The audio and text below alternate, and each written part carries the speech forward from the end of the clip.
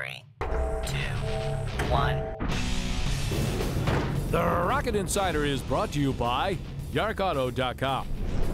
The Glass Bowl was packed for the Battle of I 75 on Saturday, and the Rockets didn't let the home crowd down, beating arch rival Bowling Green 27 to 15.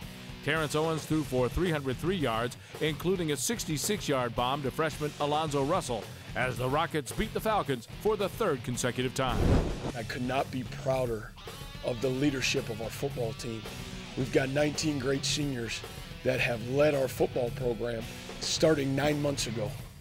And I thought that senior leadership tonight was critical in a hard fought, tough football game.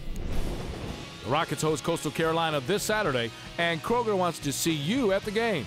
Just present your Kroger Plus card at the UT ticket office this week and get up to two tickets for only $12 each. This offer is not available on game day and won't last long, so stop by the UT ticket office today or call 530 4653 for more information.